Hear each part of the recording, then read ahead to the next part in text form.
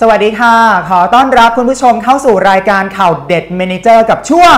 หน้าหนึ่งแน่นอนค่ะวันนี้เราอยู่กัน 2 คนนะครับ คุณทีค่ะมงานติดภารกิจนะครับ เกี่ยวกับทางครอบครัวนะฮะใช่ค่ะคือคุณยายเขาเสียอืมนะครับ ก็ไปงานศพพิธีครัชาบปนกิจค่ะครับ ก็ขอแสดงความเสียใจด้วยนะครับ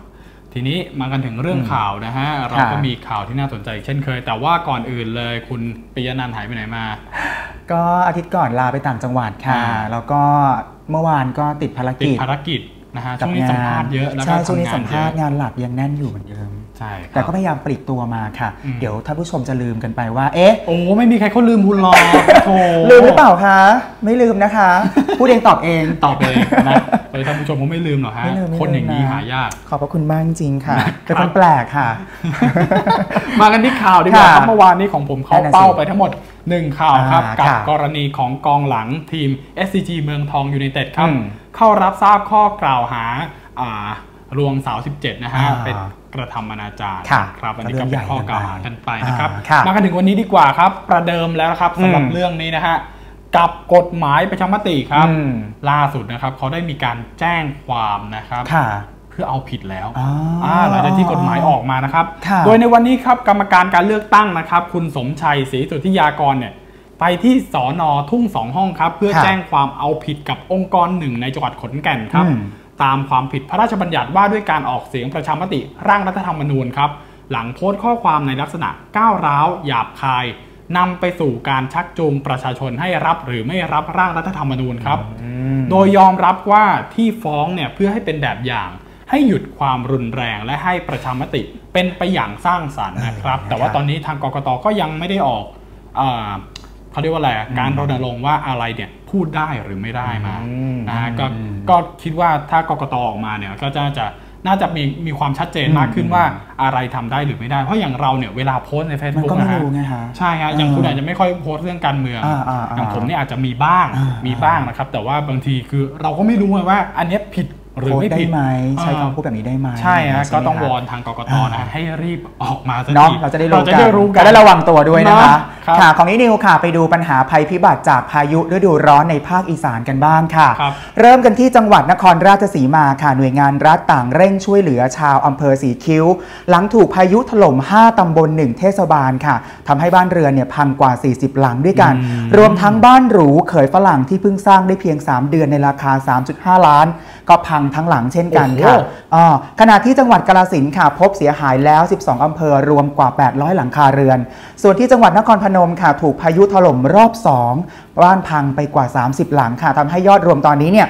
เสียหายไปแล้วกว่า 400 หลังเลย โอ้โห มันแรงมากจริง ๆ ค่ะนะฮะอ่าก็หลังจากแล้งมานาน อืม คราวนี้ฝนตกเจอพายุซะพายุฤดูร้อนเข้ามาโโหแทนแรงด้วยอ่ารุนแรงมากเลยค่ะ นะฮะ มากันถึงเรื่องของภารกิจของนายกรัฐมนตรีครับอืมวันนี้นะควัรันบนี้ไปไหนคะ พลเอกประยุทธ์จันทร์โอชาครับ ค่ะไปเชียงใหม่ครับอ่าเอาบินเนื้อไปที่เชียงใหม่เลยครับ ค่ะวันนี้โดยงานแรกนะครับ เป็นประธานประชุมคณะกรรมการประสานงานและสนับสนุนงานโครงการหลวงเพื่อหาแนวทางสนับสนุนและพัฒนาโครงการหลวงครับอืมก่อนที่จะไปตรวจเยี่ยมชมศูนย์ผลิตตผลนะฮะค่ะโครงการหลวงแม่เฮียพร้อมรับฟังความคืบหน้านโยบายของรัฐบาลครับ แล้วก็อืมพบปะประชาชนกันไปนะฮะค่ะด้านเครือข่ายอาสาประชาชนภาคเหนือสู้ภัยฝุ่นควันนะครับนำรายชื่อทั้งหมด 18,000 รายชื่อค่ะยื่นหนังสือครับ เรียกร้องให้รัฐบาลเนี่ย ยกระดับการแก้ไขปัญหาฝุ่นควันทางภาคเหนือนะฮะที่โอตอนนี้เนี่ยวิกฤตมากอืมเป็นวาระอืมแห่งชาติเลยทีเดียวฮะโอ้โหเรื่องใหญ่เหมือนกันนะนะคเรื่รัอบงนี้ก็หลายคนก็ป่วยกันไปนะฮะอ่าเพราะว่าโอ้โหบางทีเนี่ยบางพื้นที่หมอก เยอะควันแล้วก็มองกันไม่เห็นปิดปากนิดนึงก็ดีนะคะนะเพื่อสุขภาพปอดช่วงนี้นะฮะค่ะ ของนี้นิวค่ะ ต้องบอกว่าลูกเทวดามันกลับมาอีกแล้วค่ะ ลูกเทวดานี่คือคือเป็นเด็กลูของเทพไม่ใช่อ๋อไม่ใช่ค่ะเขาเหมือนกับเปรียบไปเลยเด็กเปรียบเลยที่แบบพ่อแม่ ตามใจตามใจตามใจจนแบบว่าเหลิงเลย ไปทำเรื่องไม่ดีกับคนอื่นอ๋อออะไรอย่างนี้ไปสร้างความเดือดร้อนเขาเลยเรียกว่าลูกเทวดาอ๋อเอ่อล่าสุดค่ะเกิดที่จังหวัดศรีสะเกดยังค่ะไงครับเกิดเหตุคนร้ายค่ะบุกทุก รถยนต์ภายในสำนักงานเขตพื้นที่การศึกษาปฐมศึกษาศรีสะเกดเขตหนึ่งจนกระจกเนี่ยแตกเสียหาย ครับพบว่าเป็นฝีมือหนุ่มวัย 20 ปีค่ะ ซึ่งเป็นลูกข้าราชการภายในสำนักงาน อืมเป็นผู้ก่อเหตุ โดยพยานระบุว่าครั้งนี้เนี่ยถือเป็นคันที่ 9 แล้วนะที่โดนทุบเนี่ยโอ้โหซึ่งเจ้าตัวทำไปเพราะหวังประชดแม่ ทำไมฮะ ที่ไม่ยอมให้เงินจำนวน 8 0 0แสนบาทเพื่อไปซื้อรถจักรยานบิ๊กไบค์ โอ้ย จักรยานยนต์บิ๊กไบค์นี่แหละค่ะก็เลยทำอย่างนี้เลยก็เลยประชดด้วยการนี่แหละเอาก็ เอาหินไปทุบกระจกเขาเนี่ยอ๋อ เออโดยประกาศจะทุบให้ครบ10คัน อ่าวเหลืออีกคันหนึ่งนะฮะรถใครจนข้าราชการเนี่ยค่ะต่างผวากันหนักเลย โดยขอให้ผู้บริหารเนี่ยช่วยแก้ปัญหาโดยด่วนโอ้โห งานนี้ไม่ไหวนี่นะคะเออ เออแล้วไปทำอย่างนี้แม่ก็ต้องมาตามล้างตามเดือดเช็ดร้กัอนนอีกครอบครัวกันไปเออีอกนะนะคคะรับแทนที่จะได้รีบได้รถไวๆกลับเออกลายเป็นว่าแม่ต้องเสียเงิน เสียเงินจำนวนเนี้ย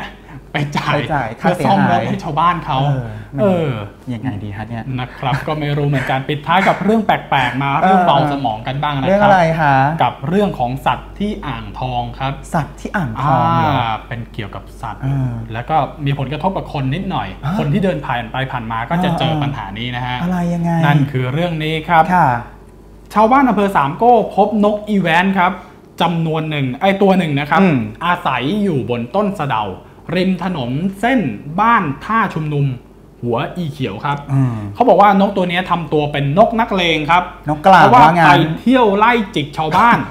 อ๋ออ๋ที่ขี่รถจักรยานยนต์ผ่านหน้าต้นสะเดาครับจะเจอเนี่ยนกตัวนี้มาแล้วครับ บินมาแล้วก็ไล่จิกจนเจ็บทุกรายเลยฮะอันตรพานมาก โดยเฉพาะคนที่ไม่ยอมสวมหมวกกันน็อกเฮ้แน่ยเราก็นึกว่าเป็นนกที่ดี